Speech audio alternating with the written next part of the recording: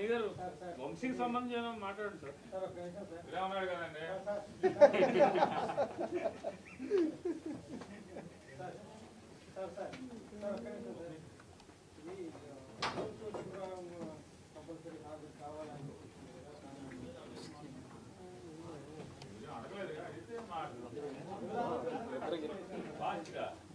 కాగితాలు సర్దుకుని వెళ్తే మీరే అట్లా నిచ్చేది అట్లా ఉంటారు ఏం మాట్లాడి వెళ్ళిపోతారు చాలా అబ్బురం పడుతున్నారు. నిజంగా నిజాయితీగా ఎంత బాగా మాట్లాడారు అబ్బురంతో అలా ఉన్నారు. జనరల్గా ఏదన్నా కేసులో మనం ఇరుక్కున్నా మనం నిజంగా ఆ కేసులో ఇన్వాల్వ్ అయినా లేకపోతే రాజకీయంగా ప్రత్యర్థులు మన కేసులో ఇరికిచ్చిన జనరల్గా కేసులు కడతారు. మన తరపున మన లాయర్ కోర్టులో వాదిస్తాడు. ఇవన్నీ కూడా ప్రాసెస్ ఒక ఐదేళ్ళు ఆరేళ్ళు పదేళ్ళు ఆర్గ్యుమెంట్లు జరుగుతాయి. కొంతమందికి శిక్షలు పడతాయి కొంతమందికి శిక్షలు పడినటువంటి పరిస్థితి ఉంటుంది. ఇప్పుడు నాబోటాడు పని బాట లేకపోతే జడ్జి గారు ఎప్పుడు పిలిచినా కూడా వెళ్ళి కూర్చుని ఆయన చెప్పింది అవతల వాళ్ళు చెప్పింది వింటాం. ఒక ముఖ్యమంత్రి స్థానంలో ఉన్నటువంటి వ్యక్తి జగన్మోహన్ రెడ్డి గారు.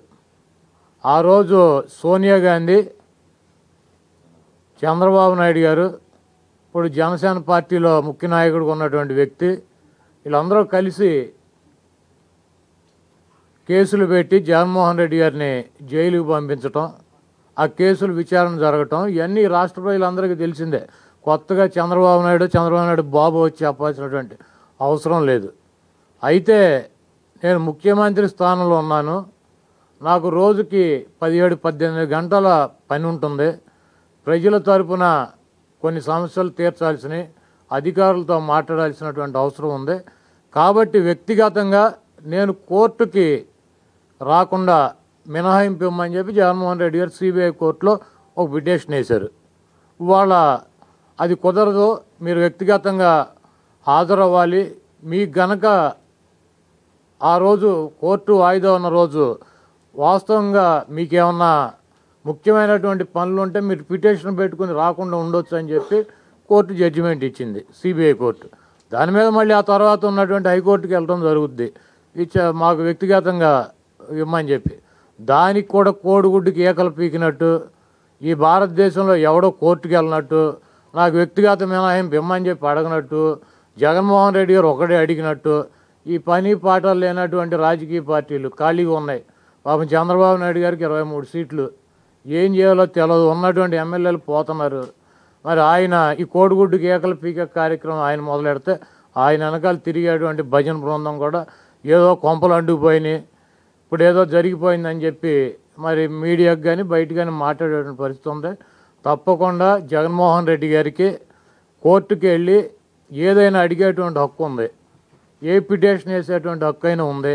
అది మొన్న మీరు చూశారు నవయోగ. నిన్నగాక మొన్న ఒక నెల రోజుల నాడు.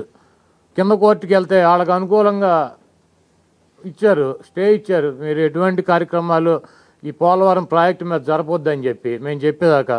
మరి ఫుల్ బెంచ్కి వెళ్తే నిన్న కేసు కొట్టేసి డిస్మిస్ చేసి పూర్తిగా ప్రభుత్వానికి స్వేచ్ఛ ఇచ్చి మీకు ఏ రకంగా కావాలో ఆ రకంగా ముందుకెళ్ళమని చెప్పి మరి హైకోర్టు ఆదేశించడం జరిగింది. కాబట్టి కింద కోర్టు ఇచ్చినటువంటి తీర్పు పై కోర్టు సమర్థించకపోవచ్చు. కోర్టు కోర్టుకి తీర్పు తీర్పుకి బోళ్ళు వ్యత్యాసాలు ఉంటాయి. కాబట్టి ఈ కోర్టు కింద కోర్టు ఇచ్చినటువంటి తీర్పే ఫైనల్ అని చెప్పి మా చంద్రబాబు నాయుడు గారు పని పాట లేక ఆయన కోడిగుడ్డు మీద ఏకలు పీకడం కోడిగుడ్డు మీద ఏకలు ఉండవు ఆయన ఎంత పీకాలనుకున్నా కాబట్టి ఇటువంటి తప్పుడు ప్రచారాలు చేయొద్దని చెప్పి ఒక వ్యక్తిగా ఆయనకున్నటువంటి స్వేచ్ఛని కోర్టులో ఆయన అడిగేటువంటి హక్కును ఆయన ఉపయోగించుకున్నాడు. ఈ కోర్టు కాదంటే పై కోర్టుకి వెళ్తాం జరుగుతుంది. ఎవరు? ఎవరిని రిజైన్ చేయమంటున్నారు? దేనికి? కోర్టుకి వెళ్తే సీఎం బాబు రిజైన్ చేయాలి? అదేంటి? అది ఏమన్నా చట్ట వ్యతిరేకమైనటువంటి ఏమన్నా అది ఏమన్నా జోదశాల లేకపోతే ఏంటది? ఇప్పుడు ముఖ్యమంత్రి హోదాలో ఉన్నాడు కోర్టుకే పోలీస్ స్టేషన్కో లేకపోతే ప్రెస్ క్లబ్కో వస్తే రిజైన్ చేయాలా సార్ మా మేము తప్పుడు వార్తలు రాసి ఫిర్యాదు చేస్తామంటున్నారు మేము ఆఫీసర్ మీద ఫిర్యాదు చేస్తాం ఎందుకు చేయకూడదు? మీరు ఎప్పుడైనా చేయొచ్చు.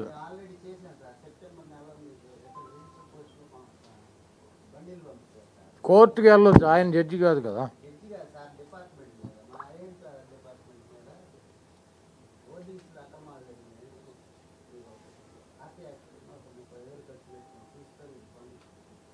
ఎంక్వైరీ.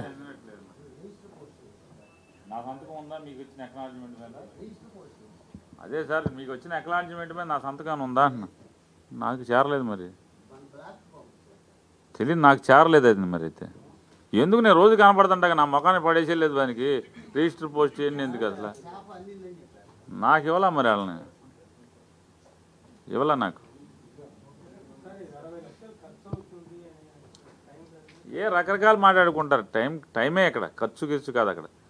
ముఖ్యమంత్రిగా విధులు బోళంత నిర్వర్తించాలి కాబట్టి ఆ నిర్వర్తించే క్రమంలో రొటీన్ వాయిదా కాకుండా ఏమైనా సహజంగా ఏమైనా క్రాస్ ఎగ్జామినింగ్ లేకపోతే ప్రాసెస్ జరిగితే ఏమ్మా?